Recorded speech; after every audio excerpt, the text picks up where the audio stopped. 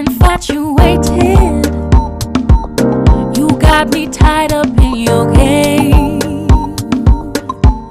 I'm nominated for Best R&B. This is great. I'm in it, so I could win it, but I think Perry Hilton deserves it. Have myself to play. We must have done a dozen shows here, the Barrowlands, the Academy, the other side of the river, King Tut's, Nice and Sleazy's, ABC, the list goes on. We've had some great times here. It's always good to be back.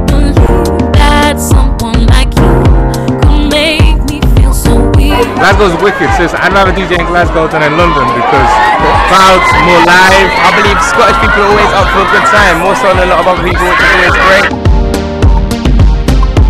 is realizing that urban music is the sound of Britain. I think it kind of just opens it up a bit, man, and it kind of makes people from different audiences want to tune in and want to know what's going on because the UK is big right now, urban talent is big right now, black music is massive, so we need to get it as far as we can, you get me?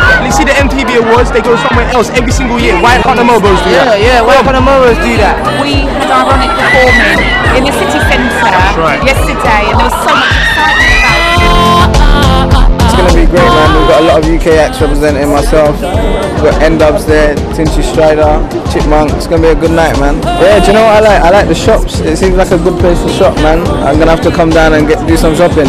You know, I've, I've cleaned the shops here. It's got to be done.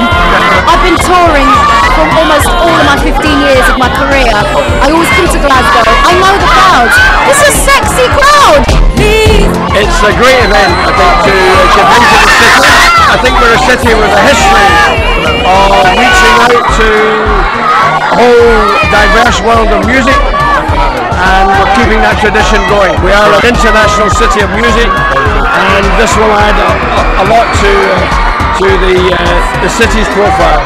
Well, I'm wearing some Deryck Walker, some Harris Tweed. I'm wearing a proper Scottish designer. It's beautiful. I feel like I'm honouring Scotland in only the way I can. I'm looking forward to obviously the, the, the Jackson tribute, which I think will be amazing.